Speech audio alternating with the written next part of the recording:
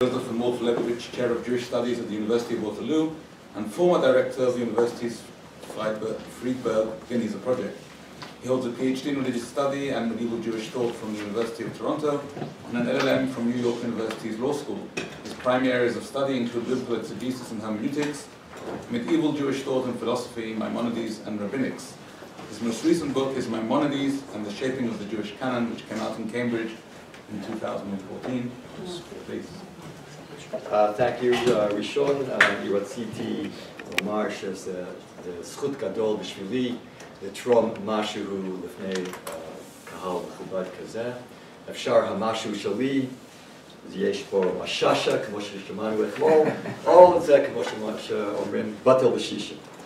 Um, uh, second of all, I'd like to thank um, the organizers. Uh, I'd like to thank uh, Junie for all her uh, work on this and um, Svi for all his work in organizing it.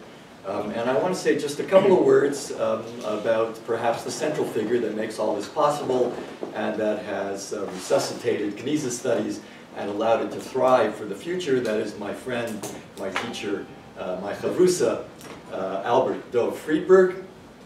Uh, it is a rare uh, event, I think pretty well unheard of, that the patron um, of the Academy, one of the patrons of scholarship, himself has advanced the scholarship that he's a patron of uh, in very considerable ways. I think that's an almost an unheard of um, event. And uh, I can imagine that a couple of hundred years from now, uh, like uh, studies on Firkovich, the new Firkovich studies, somebody will be doing a PhD on who was Albert Friedberg. On the one hand, we see from these documents that uh, he had a relationship and correspondence with Rav Shach, uh, with Rosh Yeshiva, uh, and on the other hand, he has correspondence with Chagai ben Shammai and biblical scholars. Who was this man, Albert Friedberg? So, um, so I'd like to thank him as well. so now you can start my time. um, I want to uh, talk about, uh, there are three points that um, Aviram in his very, very fascinating paper, and, and, and of course his, his beautiful uh, published paper on Tfisat HaLashon Barambam. Three points, that is, generally Maimonides' theory of language, and of course its Aristotelian Greek roots. Um, and then um, particularly how his philosophical considerations shape halacha, an issue that has exercised uh, a number of people. And then finally, I think his most important contribution, which he ended off with, is the kind of question that must be asked when we approach this issue. And that is the right question, as he said, is not which ruling do the Talmudic sources necessitate, but rather what rulings do the Talmudic sources enable. enable. And so um, what I'd like to do here is simply um, uh, offer a few remarks generally about the importance of language in Maimonides' philosophical project, and then move to one particular example that has been cited before, but I might have just a little bit more to say about it that I think highlights the right question that uh, Aviram asked. Maimonides' entire philosophical project, which is essentially a hermeneutical one, is anchored in how he perceives language, and particularly the sacred, holy tongue, Lashon HaKodesh, of Hebrew.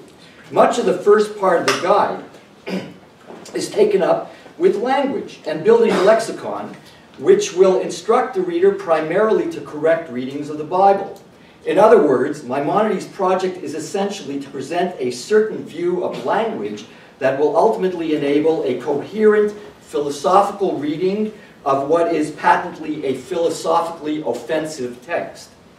Maimonides therefore primarily aims at preserving the Bible's consistency with preconceived philosophical conclusions that have been demonstrated as true.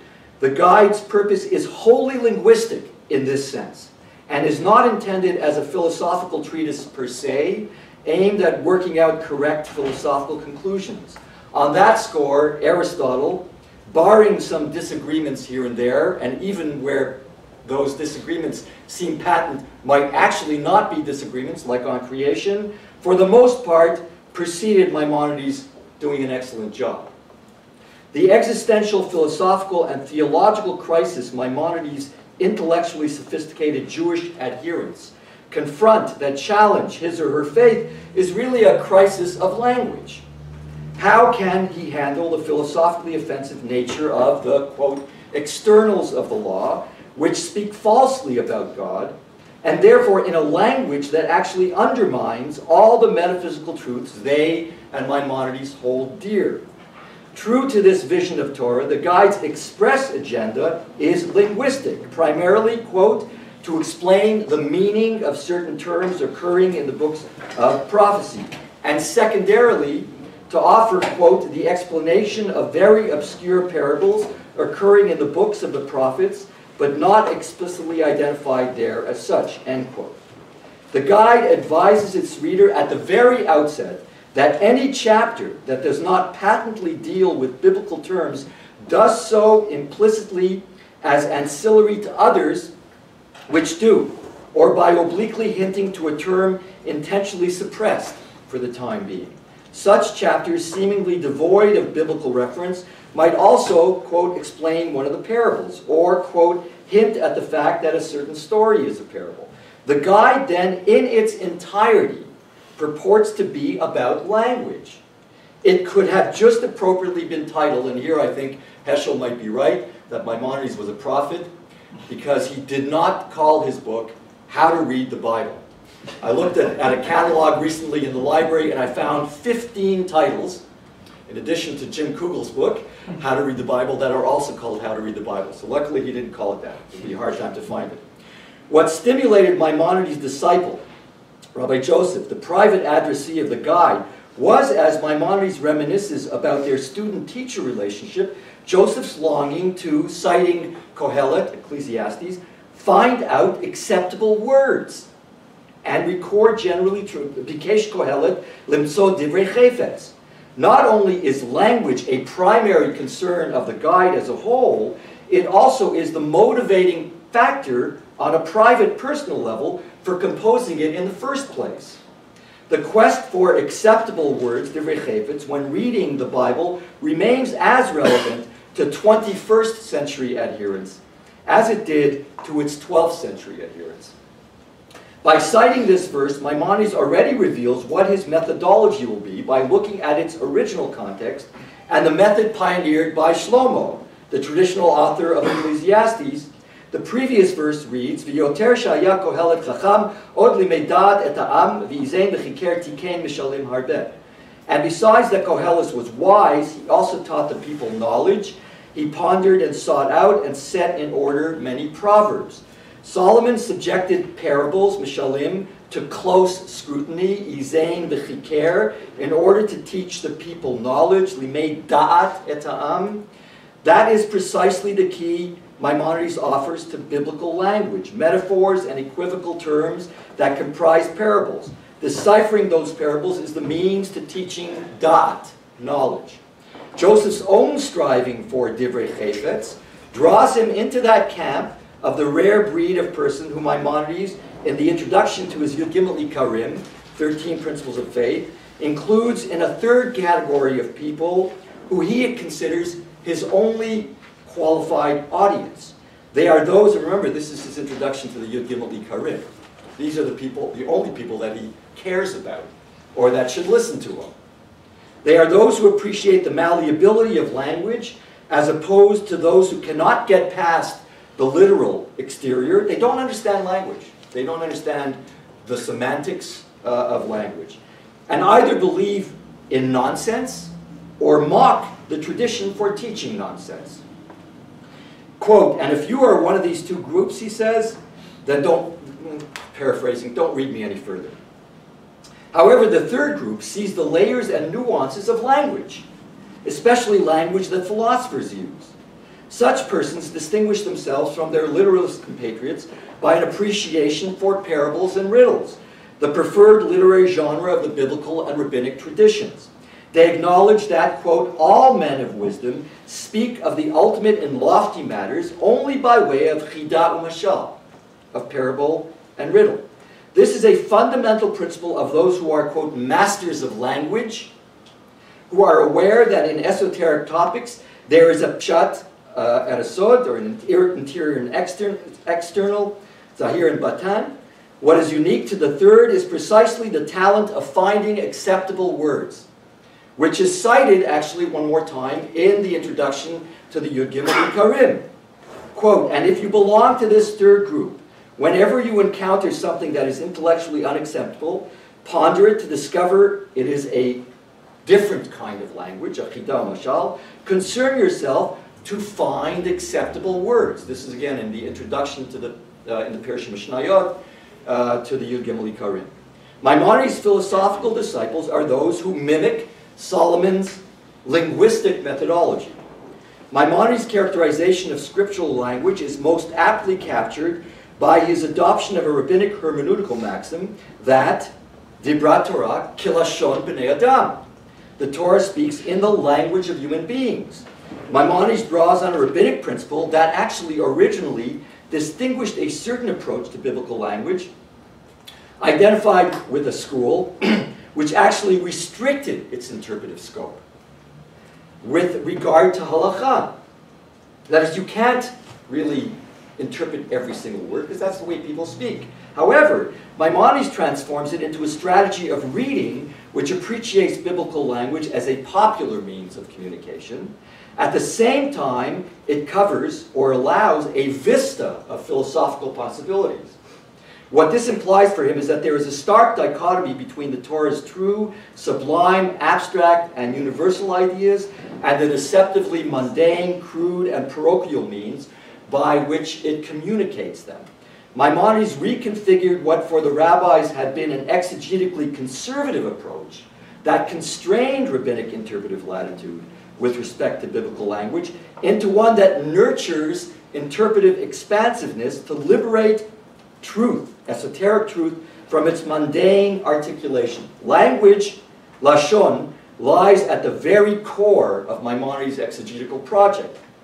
Though contemporary scholarship tends to alienate Maimonides the philosopher from Maimonides the halachist, and now we're beginning to see the cracks um, with um, essays like Aviram's, he remains consistent on the centrality he assigns to the enterprise of probing language in his halakha. The Mishnah Torah, after all, is comprehensive legal code, opens peculiarly for a work that is a legal code, or that purports to be a legal code. It commences with a book titled Book of Knowledge, which begins by identifying the very first commandments, it, to believe in the existence of God and the unity of God. And the greater part of that first chapter is concerned with the subtle art of reading Scripture. Presenting a virtual digest, if you look through that first chapter in Mishnah Torah, of all the problematic terms descriptive of God that are dealt with in the guide's lexicography. It really kind of, there's an interlocking um, exegesis, or, or, or, it's a symbiotic relationship between the Mishnah Torah and um, the guide. All of them, whether they indicate features of a divine physiognomy, emotions, attributes, are kinuyim, mashal, mishalim, melitza, metaphors, parables, figures of speech. So the entire first chapter is concerned with language. The task of the Jewish reader is to make his scriptures speak explicitly as asserted in the Mishneh Torah, Mefurash, clearly. Reading scripture from Maimonides is a liberating venture for both the text and its reader. It allows meaning to escape the pragmatic, pragmatic constraints of human language, whose linguistic reach only extends, in quoting the Mishneh Torah here, V'chol advarim ha'elu, אינן מצוין אלא לגופים האפלים השפלים שוכני בתי חומר אשר באפר יסודה. Dark and lowly physical bodies that dwell in houses of clay, bate chomer, and whose foundations are in the dirt. As Maimonides' citation of this last Jobian verse infers, it also reminds the reader of his own inferior state vis-a-vis -vis the grandeur of the, of the universe. At the same time, the term clay, or chomer, the standard Hebrew term for matter as opposed to form in the medieval Jewish philosophical lexicon, conjures up that aspect of the lowly existence that the reader must overcome by the exercise of his form, his nobler dimension, his tselem, his intellect, if he aspires to cultivate his humanity and find common ground between himself and God. If a reading doesn't penetrate the external, if it doesn't discern the tapuchei zahav from the maskiot kesef, then existence itself will be mired in the chomer, that renders it indistinguishable from animal or unreflective existence. He will then end life as the following verse in Iyov condemn him, Yamutu velo bechachma, he will die without wisdom. The allusion to Job also draws wisdom into a legal code whose ultimate purpose is to present a legal system that best preserves the wisdom whose absence from the introductory description of Job's character, that is, Job is described as an Ishtam, Yashar, but he's missing Chachma in the it, it, key, as a key to the book. His halachic work also then is anchored in problems and issues of language. So um, now I just wanted to address, so those were a few words about the centrality of language in his whole project. Um, and now I want to address the question that uh, Aviram ended off with, which is the question um, not whether it necessitates, but does, hal does halacha enable, does it enable um, a philosophical shaping of halacha? So the handout that I gave you is, is a, a kind of a classic source. Uh, Aviram mentions it uh, in terms of Twersky, uh, an argument between Twersky and Harvey on how to, how to, um, how, to uh, kind of approach this problem. But I want to add something to it, and that is in Hilchot Bikurim. That is, um, sorry? Oh. Give me another minute. I needed all of them. Um, so um, there is a, um, uh, a, a, ruling in the Mishnah that is an undisputed ruling, or a stam Mishnah, um, that says that a convert um, cannot recite the doxology, uh, that kind of little prayer or whatever you want to call it, that accompanies the bringing of the first fruits. The bringing of the first fruits. Elu Mevian v'lo Korean, that's the Mishnah. Ager Mevi the Eno the convert uh, brings the Bikurim, but he can't, he can't read it because he can't consider himself part of the prayer, part of the historical consciousness that this prayer uh, raises. That is, this is the land that was promised to our forefathers. After all, the convert isn't biologically a descendant. However, Maimonides, in his, uh, in his commentary um, on the Mishnah, first of all, says, gave Ger Mevi V'Kore, Shenemar La'avram Hamon Goyim Nitaticha, Arehu Av Kol Olam Kulo, that is, the Ger, the convert, can consider himself a descendant of Abraham philosophically, notionally, because he has accepted the fundamental beliefs of Abraham, and therefore he is a Ben. He is a Ben. And this goes perfectly together with the term to give birth in the guide. In the guide, as that's source uh, four, I guess I skipped three, whatever it is. Whoever instructs an individual in some matter and teaches him an opinion has, as far as is being provided with this opinion concerned, as it were engendered that individual. So it goes perfectly together with giving birth to. The ger is the child. Is actually the child, perhaps according to the Rambam, more a child, more a child of uh, uh, a descendant of Abraham than naturally born Jews. Naturally born Jews who don't completely subscribe intellectually to the beliefs that Abraham led. In his Mishnah Torah, he rules um, that, um, uh, uh, that uh, the ger brings and, and recites. That is, in contravention of the Stam Mishnah. Now, we know, and it's one of the rare instances that give us a glimpse into Maimonides' reasoning, which is which clear here to me seems a clearly philosophical approach. That is, there is there is, and here's where Aviram is right, the halacha enables Maimonides to uh, present a ruling that contravenes a Stam Mishnah because there is a Yerushalmi. There is a, there is a ruling in the Palestinian Talmud. And the Igeret, the famous letter to the convert, which is called an Igeret, but it, it's really a tshuva. I mean, it's, it's a tshuva. It's clearly a tshuva.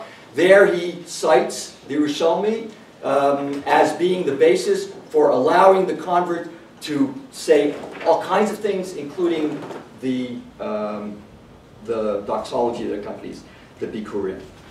Now, um, there is a problem, and this is what I, what I want to, that, that this shows, I think, that when he, when halacha enables him to, philosophy will jump in and shape the halacha as it did in Bikurim. But there is a directly contradictory halacha, which, which involves the exact same thing, which is with the tithing, the tithing of the second tithe, Maaser Sheni, which also requires a, an accompanying recitation, where Maimonides, and this is the back of, of you sources, Maimonides rules about that, that lo va'avadim shucharim mepnei she'en lahem chelet ba'aretz va'arehu omer be'et hadama asher natata lanu. Now he quotes a different, different thing, but clearly the same, the same reasoning could have applied.